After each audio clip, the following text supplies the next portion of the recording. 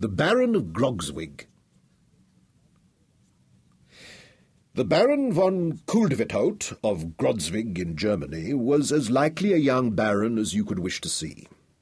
I needn't say that he lived in a castle, because that's of course. Neither need I say that he lived in an old castle, for what German baron ever lived in a new one?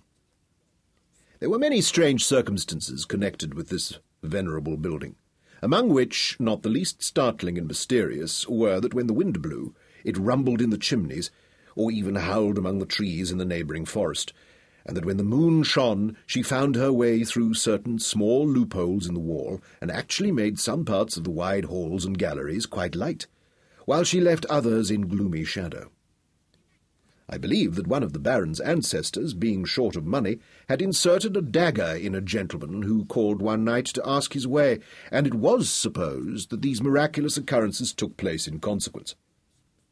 and yet I hardly know how that could have been either. Because the Baron's ancestor, who was an amiable man, felt very sorry afterwards for having been so rash, and laying violent hands upon a quantity of stone and timber which belonged to a weaker baron, built a chapel as an apology, and so took a receipt from heaven in full of all demands. Talking of the Baron's ancestor puts me in mind of the Baron's great claims to respect on the score of his pedigree. I'm afraid to say I'm sure how many ancestors the Baron had, but I know that he had a great many more than any other man of his time, and I only wish that he had lived in these latter days that he might have done more.